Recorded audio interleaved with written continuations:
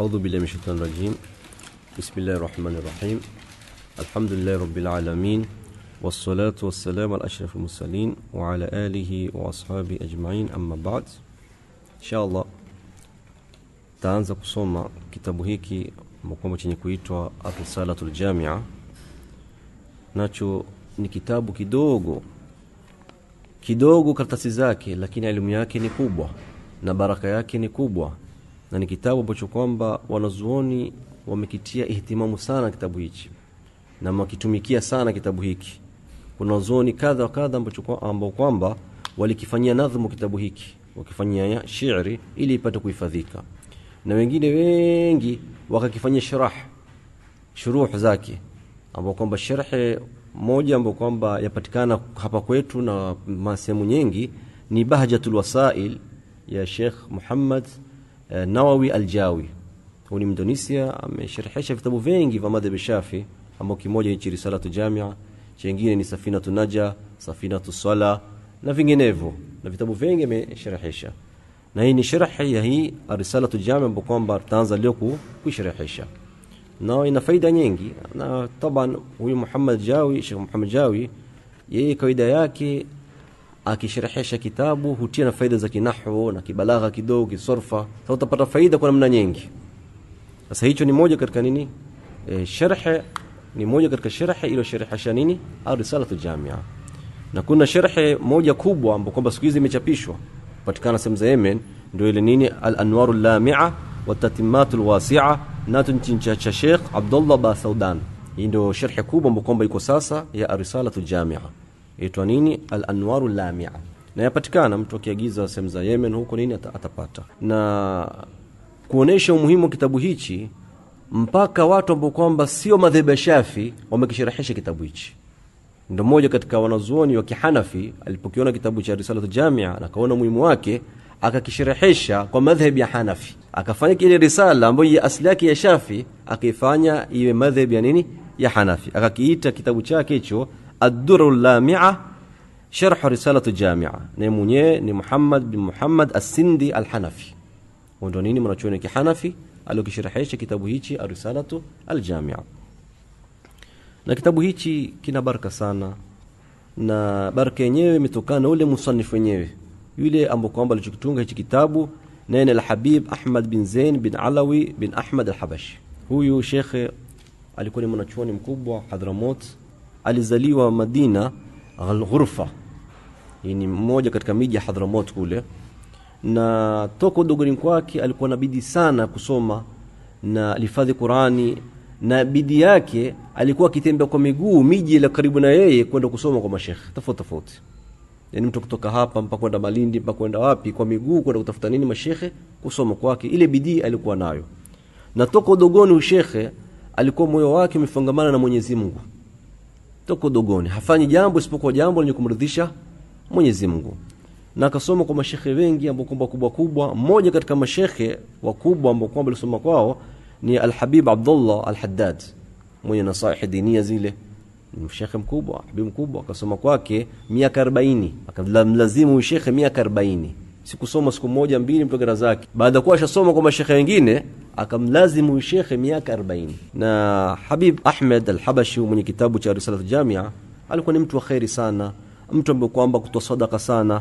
Na katika mambo aliyofanya alijenga misikiti zaidi ya kumi.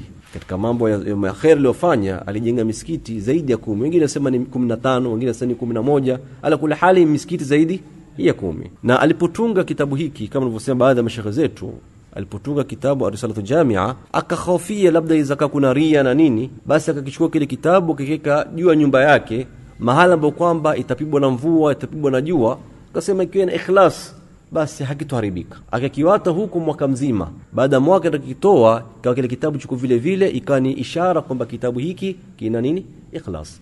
Na taban toka ilipotoka kikaenea kitabu hichi kikawa kisomeshwa Sharq Afrika huku Kenya, Tanzania, Uganda, chikenda Masri kachosomeshwa Hadramot ndio sehemu yenyewe imekathirisha kule. Mpaka Urdun kimefika. Kuna mmoja katika mashekhe wakubwa Urdun ambaye kuitwa Said Fauda. Ameweka darsa ya watu wazima akawasomesha hiki kitabu ambapo kwamba sitokiona kidogo, lakini wale wazoni wakijua kwamba ni kitabu kikubwa, akaweka darsa hii ya nini? Arisalatu Jamia. na hapa kwetu Said Ali Badawi mwanachuoni maarufu aliweka darasa safari moja ya mashekhe darasa si wanafunzi wenye kwanza darasa mashekhe. Kitabu ambacho kwamba lichosomeshi ni arsalatu Jamia kwa sharhi ya Nawawi Jawi huyu ni Bahjat Alwasail, kasoma ipomalizi kafanya ukarabu kubwa sana, utadhania labda kuna harusi au nini, kumbe kitabu hichi Arisalatu Jamia wamehitimisha. Taib, hiki ndio nini Arisalatu Aljamia, tumekieleza kwa ufupi, na mtu akitaka sharhi zake na nam zake ndio katafute katika kitabu hichi al-anwar lamia ametaja kule mwanzo zile sharhi na nadhmu ambapo kwamba zimetungiwa arisalatu jamia Nasi inshallah tutajaribu kusharahisha kwa uwezo wa Mwenyezi Mungu inshallah na ile kadri tukusailishia Mwenyezi Mungu na inshallah Mwenyezi Mungu ataifanya darasa hiyo na ikhlas yani khalis liwajhi Allah inshallah na ipatikane manufaa. Bismillah asema mwenye kitabu bismillahir rahmanir rahim alhamdulillahi rabbil alamin hamdan yuwafi ni'amahu wa yukafi'u mazida wa sallallahu ala sayidina muhammadin wa ala alihi wa sahbihi wa sallam bismillahi taban ameanza kwa bismillahi na alhamdulillahi ili kwa, kwa sababu kufata Qurani tukufu kwa sababu Qurani tukufu ilianza bismillah kisha alhamdulillah na kufata sunna mtume sala sallam kwa sababu mtume anasema jambo lote ambalo kwamba likuanza na bismillah au alhamdulillah basi jambo litakuwa limekatika. Baraka yake itakuwa ni kidogo. Ndio maana akaanza na bismillah kisha akasema alhamdulillah. Bismillah hii ni jaru majrur. Yani albahr fujar na ism majrur bil ba. Na kawaida katika lugha ya Kiarabu jaru majrur huwa yataka kitu ishikamane nacho. Huwezi kusema mpaka nyumbani. Lazima kuna nenda mpaka nyumbani sasa hapa bismillah kwa jina la Mwenyezi Mungu.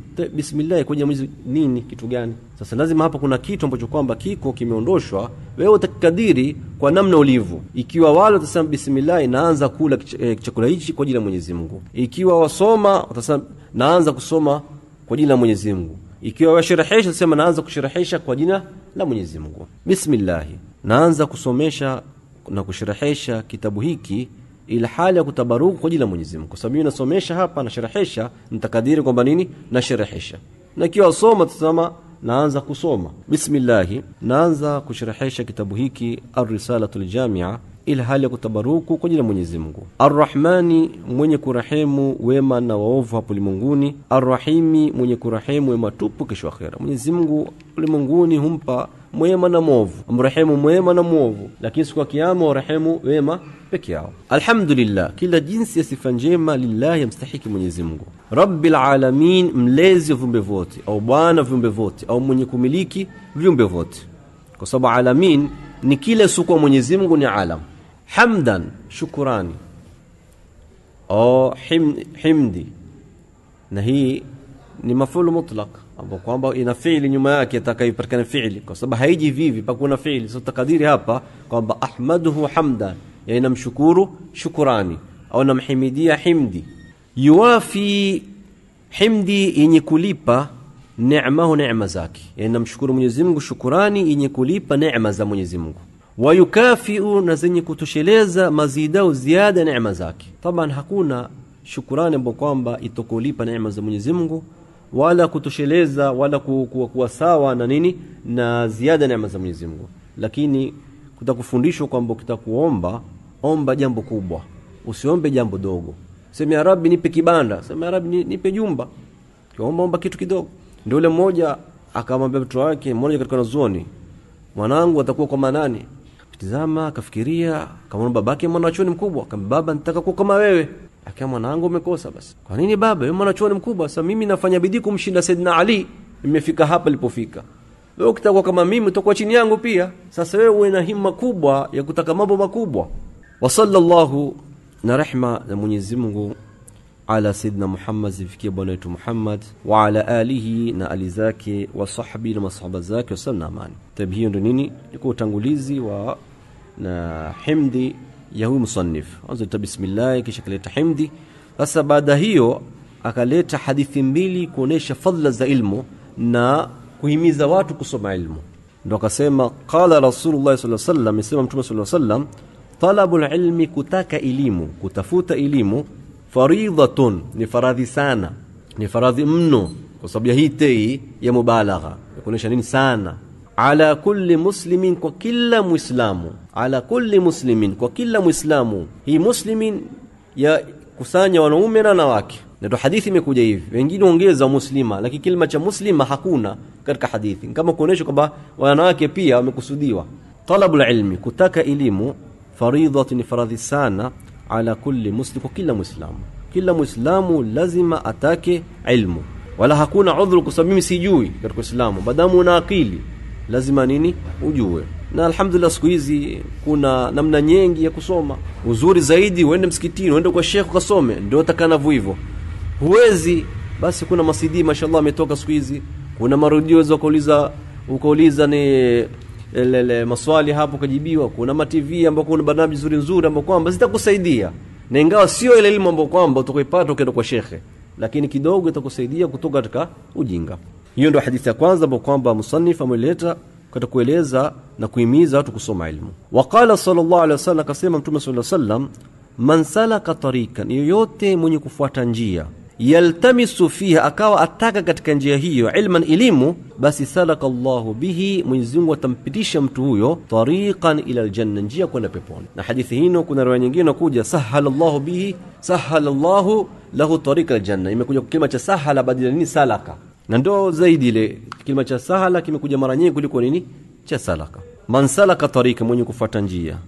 Yaltamisu fi akata katika njia hiyo ilman elimu katika elimu za sharia hizi katika ilmu ambazo kwamba lazima zisome basi salaka Allahu bihi Mwenyezi Mungu atampitisha mtu huyo tariqa liljanna njia kwenda peponi. Yeye ametaja hadithi mbili lakini kuna hadithi nyingi sana ambazo kwamba zenye kueleza fadla za ilmu kwa sababu kitabu kidogo wenyewe amekiita arisala arisala moja katika marisala ni kitabu kidogo. Hakuweza kueleza hadithi nyingi. Ndio akatagua hizi hadithi mbili akaweka ili watu wapate kuhima kusoma ilmu. Na athari za masahaba na athari za wanazuoni katika kueleza fadhila za ilmu ni nyingi sana. Na yatosha fadhila ilmu kwamba hata mjinga ukimwambia una ilmu hufurahika. Na huyo mjinga ambaye huna ilmu hukasirika. Hii utosha kwa nini? Fadhila ilmu. Wa ba'du نبعد باسمي نحمدي نصلى سلامه. فهذه بس هاية يليوم غير كتابه هيكي مسائله ني مسألة مينجي. نهي نيني؟ ني اسمه غير منصرف. مسائل على وزن مفاعل. وستية تنوين يابا. وسيسي مسائل تقوم مكوسة. تسانيني فهذه مسائل هاي المسألة مينجي. مختصرة لو بيتوا بيتوا. يعني لو فوبيليزوا. من بعض كتب yametolewa katika baadhi ya vitabu hujjat lislami wa hujjat lislam al-Ghazali Imam Ghazali. Yaani kitabu hiki ni masala mengi ambayo kwamba ameyafupiliza kutoka katika baadhi ya vitabu vya Imam Al-Ghazali. Ghaliban kwa wingi. Yani wingi wa masala haya nimeyatoa katika nini? Baadhi ya vitabu vya Imam Ghazali. Wala hakueleza ni kitabu gani ambapo kwamba nini? Aliotoa lakini amesema baadhi ya vitabu vya Ghazali baadhi wanazuoni nasema amekitoa katika bidayatul hidayah hiki risala jamia kama ni ikhtisar ni ufupilizwa nini? Bidayatul hidayah ametoa pale akafupiliza akaweka katika nini? Hichi kitabu kita arisalatul jamia. Hapa ghaliban taban hii ni mansub binazil khafidh ghaliban mansub binazil khafidh imenasibishwa kuondosha harfa jar yani fil ghalib. Na wanazuoni katika kufasiri ghaliban hapa kuna namna mbili wengine waifanya ghalib yaunganika na maneno ya nyuma. Wengine fanya ghalib yenda na maneno ya mbele. Ndo pale ukishika maneno ya nyuma kwamba wingi wa kitabu hiki umetoka katika baadhi ya vitabu maghazali. Wengine sema la ghaliban man arafaha wakatanganya. Kighalibu mara nyingi mwenye kuyajua masala haya. Sasa hiyo zote ni tafsiri za mashekhe wengine wenye kufanya ghaliban ni kwa wingi wa masala haya yani imetoa masala haya katika baadhi ya vitabu vya Ghazali kighalibu. Yani kuna mengine ambayo sikutoa pale. Wengine sema la ghaliban ni yenda na mbele kwamba ghaliban man arafaha. Yani kwa wingi mwenye kuyajua masala haya wa amila biha na kayatenda yale masala kwa ile muktadha masala hayo basi narju lahu tumtaraji mtu huyo minallahi kwa Mwenyezi Mungu an yakuna awe من أهل العلم كتكواتون علم. ظاهرا علمك ظهيري دون علمك الشرية وباطن علمك دان دون علم زكي مويو. أما قمني تصوف. وبالله توفيق لكم يزيم توفيق. الله أعلم.